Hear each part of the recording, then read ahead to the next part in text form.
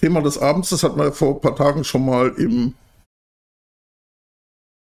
Discord-Channel. Und da dachte ich mir, das ist ein Thema, was mit Sicherheit für alle interessant ist. Und deswegen bringen wir das nochmal auf den Tisch.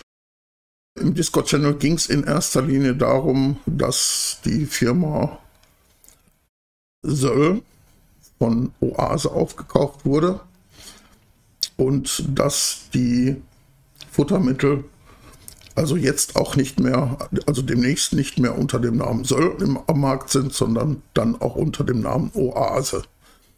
Und dass sich die Zusammensetzung der Futtermittel also teilweise ganz erheblich verändert hat. Ja, und dann haben wir mal so ein bisschen aufgeschlüsselt, was das denn, was das denn zu bedeuten hat, was da überhaupt steht. Ja, und dann sind wir auch noch auf andere Futtermittel kurz gekommen. Und da habe ich dann also schon erklärt, so da und da geht der Hase lang, ja. Das, äh, daran erkennt man, ob das Futtermittel taugt oder nicht, ja. Und ich meine, dann muss ich mir auch gucken, in welchem Preissegment bewegt sich dieses, dieses Produkt. Und dann habe ich schon mal eine grobe Richtung, wie diese meist verkappten Informationen, die da drin stecken, wie die zu werten sind, ja. Also wenn ich ein extremes Billigfutter habe und da steht Fisch und Fischnebenerzeugnisse, dann werden auch keine Fischfilets verarbeitet. Also da wird wahrscheinlich so vermutlich die unterste Qualität drin sein. Das heißt, die unterste Qualität bei Fisch und Fischnebenprodukte ist Köpfe, Flossen, Karkasse, also Wirbelsäule mit ein paar Fischresten dran. Ja, das ist dann Fisch und Fischnebenerzeugnisse der untersten Kategorie. Auf der anderen Seite ein wirklich guter Hersteller, also wirklich gutes Futter, die haben es nicht nötig, sich hinter solchen Begriffen wie Fisch und Fischnebenerzeugnisse zu verstecken. Ja, die geben zum Beispiel an, was sie geben, was, was drin ist. Ja, da steht bei, bei Organics, bei dem Söll und auch jetzt bei dem Oase, da steht Lachs, ganzer Fisch. Nur, nur um, um jetzt eine Hausnummer zu nennen. Ja, da steht eben nicht Fisch, Fischnebenerzeugnisse, sondern steht Lachs, ganzer Fisch, ja, oder Hering, ganzer Fisch. Das bedeutet, so wie er gefangen wird, kommt er in die Presse, also in die, in die Mischmaschine. Ja. Und von daher weiß man, okay, das ist, da steckt Qualität hinter. Ja. Da ist der gesamte Fisch so, wie ihn ein Räuber auch fressen würde, mit Innereien, mit Magen- und Darminhalt, so weg.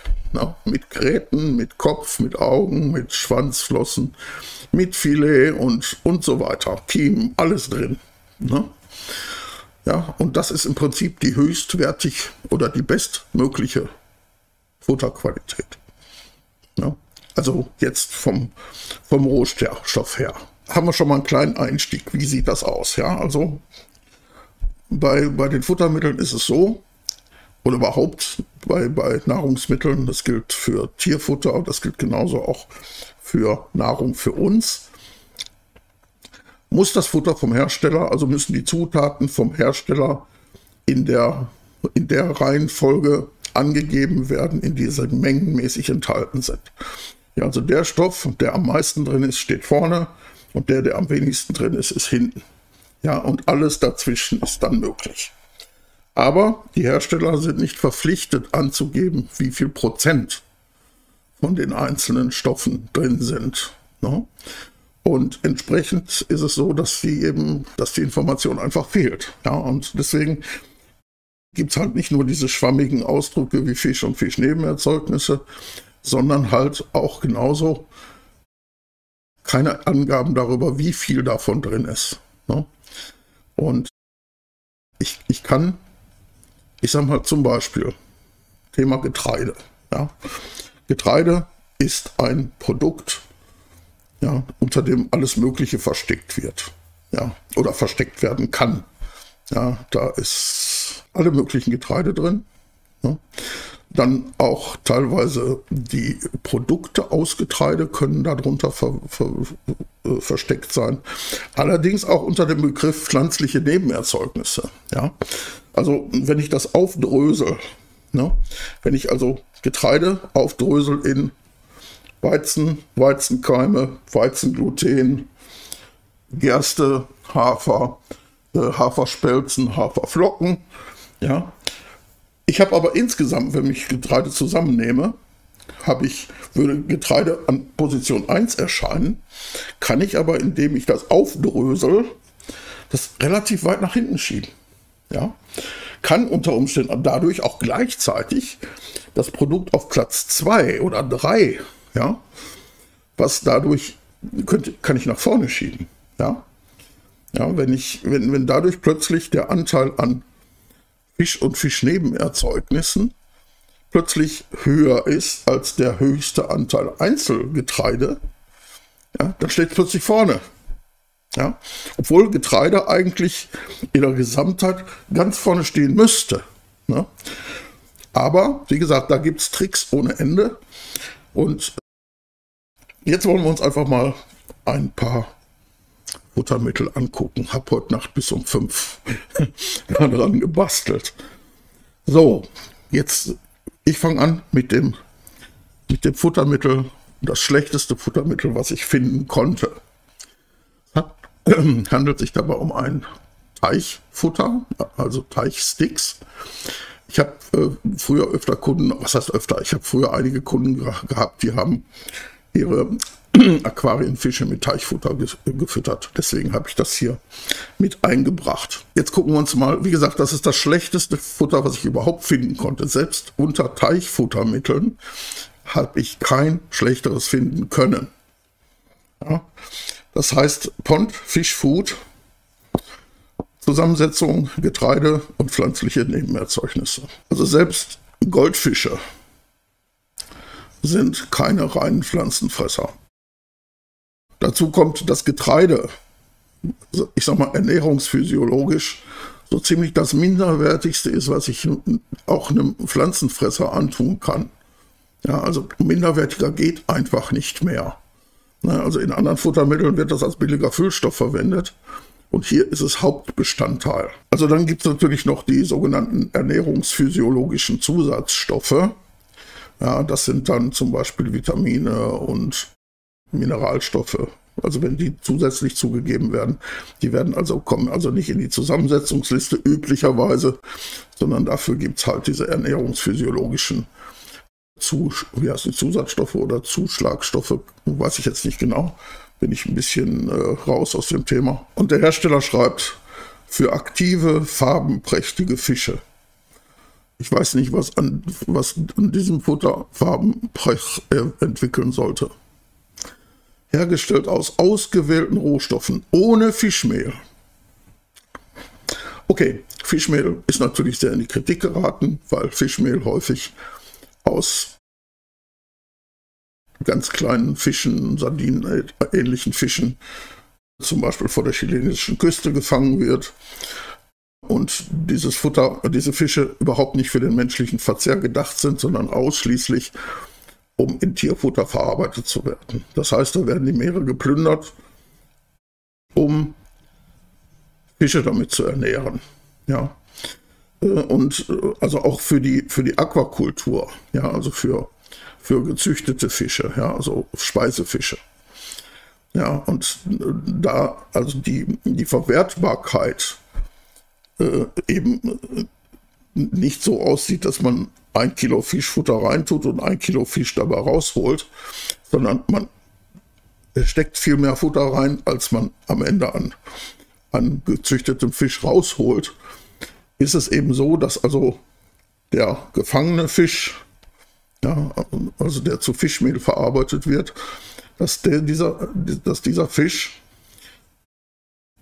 also es wird mehr, es muss mehr gefangen werden, um die Fische in Aquakultur aufzuziehen auf Schlachtgewicht. Ja, und wie gesagt, das ist natürlich ökologisch ähm, irgendwo ein Unding. Ja. Und deswegen ist Fisch- und Fischmehlprodukte sehr in Verruf geraten. eigentlich auch zu Recht. Ne? Man kann Fische teilweise auch halt über Insekten ernähren. Dafür muss man keine Fische fangen.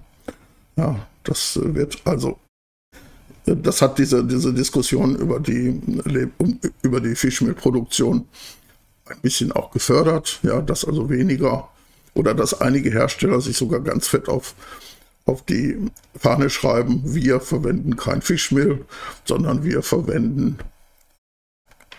Insekten. Ja, zum Beispiel hier diese sogenannten schwarzen Soldatenfliegenlarven, mit denen die Firma Fluval mit den Bugbites so wirbt. Ja, aber nichtsdestotrotz, also auch der Goldfisch ist eben kein reiner Pflanzenfresser. Ja, man kann also den Goldfisch nicht mit Getreide, das wäre, also wenn du Brot fütterst, fütterst du ihn wertvoller als mit diesem Futter okay, im Brot ist jetzt kein Vitamin drin, sind keine Vitamine zugegeben und was weiß ich nicht. Und nicht, nicht wirklich Mineralstoffe, außer das Salz mit drin ist. Ja, also ist natürlich, äh, ist natürlich jetzt nicht ernst gemeint, ne, alternativ mit, mit, mit Brot zu ernähren. Aber ich sag mal, Brot ist ernährungsphysiologisch besser als dieses Futter. Ja, mit ausgewogenen Multivitamin, mit ausgewogenem Multivitaminkomplex lebenswichtigen Mineralien und Spurenelementen. Ja, das sind sogenannte Vitamin-V-Mischungen. Ja, da geht nicht die Firma hin und, und holt sich Vitamin A und Vitamin C und Vitamin D und B1 und B6 und B12 äh, und mischt die zusammen, sondern die kriegen das ganze Zeug als Vormischung. Ja, die, kommt, die kommen also fix und fertig von einer, von einer, von einem Hersteller von diesen Produkten, von diesen Vitamin- und Mineralstoffmischungen. Ja, und die geben das dann nach eigenem Gusto dazu. Und entsprechend, ja, mit ausgewogenem Multivitaminkomplex, alles schön und gut, aber ein Futter in dieser Qualität, behaupte ich, da ist nichts mit ausgewogen. Äh, es wird wahrscheinlich eine ausgewogene Mischung sein. Ja, diese, diese, diese äh, Vormischungen sind natürlich schon kommen von, von, von Herstellern, die da Erfahrung mit haben, die da Ahnung von haben. Ja, also die werden den da nicht irgendeinen Drecks zusammen mischen. Aber es ist halt, es wird nichts Teures sein. Ja, weil, wie gesagt, ihr müsst euch mal immer diese, diese Zusammensetzung einfach mal angucken. So, und jetzt gucken wir mal runter. Da steht, Hersteller ist die Firma Dennerle. Das schlechteste Futter, was ich überhaupt finden konnte, stammt von der Firma Dennerle. Da habe ich aber schlecht gestaunt. Oder nicht schlecht gestaunt. Ja. Also, ich sag mal, Erdnussflakes sind auch wertvoller. ja. Und ne, also ein noch schlechteres Futter konnte ich leider nicht finden. Ne, also ich denke mal, das ist erschreckend. Also selbst alle anderen Hersteller von billigsten Teichfuttern enthielten zumindest irgendwas Fleischliches. Ich sage jetzt mal, ich möchte jetzt mal nicht auf Fisch und Fischnebenerzeugnisse und Fischmehl und so, darauf will ich jetzt nicht hinaus, also das nochmal anschüren. Aber zumindest auch Teichfische, egal ob Goldfische, Kois oder was auch immer, brauchen für ihre Ernährung einen Teil tierisches Futter, ja, damit sie vollwertig ernährt werden können. Ja, und das ist hier mit diesem Futter also überhaupt noch nicht mal ansatzweise gegeben. Ja. Also es ist sehr traurig, dass die Firma Dennerle so einen Dreck produziert. Ja, sorry, aber das hätte ich jetzt von der Firma Dennerle sicher nicht erwartet. Ja. Okay, gehen wir mal weiter. So, ich habe die Futtermittel jetzt so ein bisschen, ähm, ich sag mal, meistens nach Wertigkeit ähm, äh, hier stelle ich sie hier dar. Äh, wobei ich dann bei dem, nachher bei dem Organics mache ich dann eine Ausnahme, weil da gehe ich ein bisschen näher drauf ein.